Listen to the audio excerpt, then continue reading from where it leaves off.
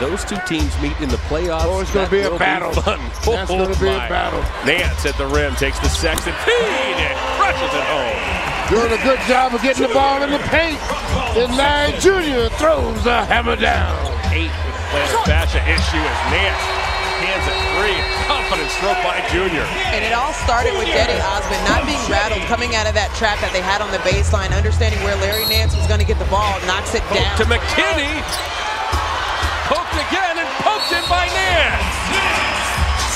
First, second, third attempt for this Cavs team. Everybody gets a little piece of the action.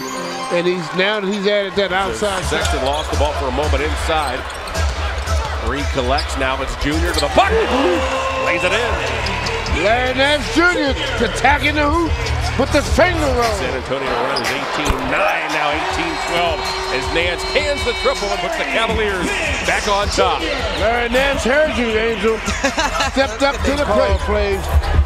Good shot by Nance. Tough shot as well, AC. A fade away from 20 feet. Come back in this fourth quarter. Well, I I think the Cavs need games like this. Larry Nance Jr. knocking it down.